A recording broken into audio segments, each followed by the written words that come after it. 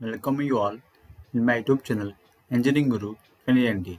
In this video, we will learn cone clutch. As we know that a clutch is a mechanical device that is used to transmit the power and motion from driving shaft to driven shaft so that the driving shaft can be started or stopped as per the need without stopping the driving shaft.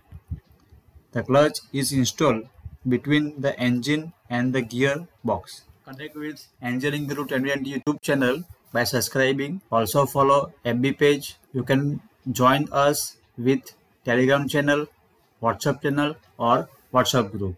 Now, uh, this is the classification of clutches. Clutches divide into four types. First, mechanical, pneumatic, hydraulic, and electromagnetic. Mechanical clutch is divided into two types, positive clutch and friction clutch. Then friction clutch divided into three types, plate or disc clutch, cone clutch and centrifugal clutch. In previous video cover uh, plate or disc clutch. In this video I will cover cone clutch. This is a schematic diagram of cone clutch. This is your driving shaft and driven shaft. This is called driving flange or we can say this is driven cone. Uh, this part is called friction lining. Uh, this is uh, driven flange or we can call driven cone, spring, spline and operating lever. So it consists of driving cone fixed to the driven shaft and driven cone fitted on the driven shaft by spline so that it can slide on the driven shaft as shown in figure. Uh, this is a driving shaft and this is the driven cone. This is the rigid cone. This is uh, driving cone fitted on this driving shaft and this driving cone fitted on this driven shaft with the help of this spline. Means uh, this uh, driven cone can slide and rotate with the help of spline. In this uh, 3D image, we can see that uh, this is our driving cone and this is our uh, driven cone. And here, this is the spline.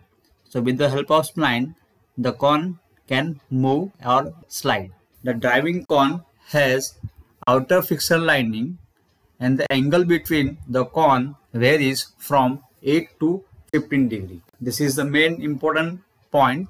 The angle can vary from 8 to 15 degree. This is cone angle.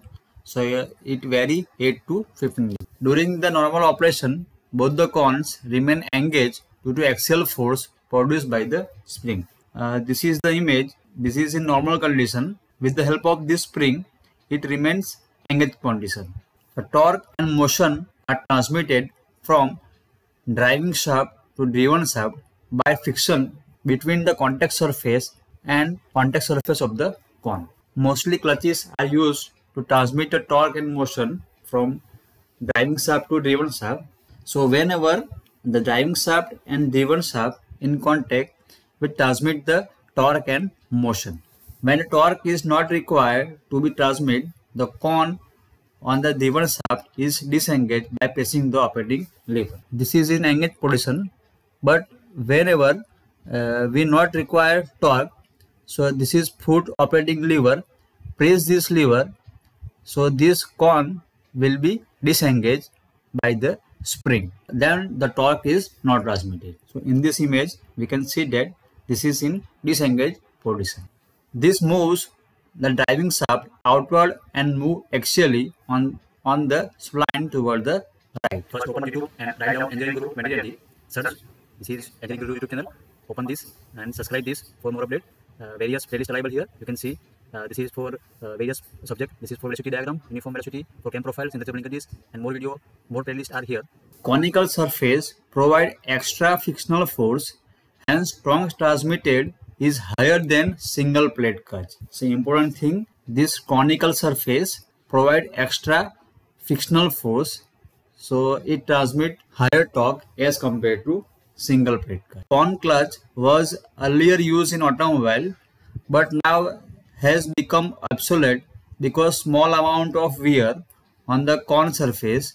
The result is considerable axial moment of the driven cone which make life of the cone very short. So if you find my video very helpful, you can like, comment, share and subscribe my YouTube channel.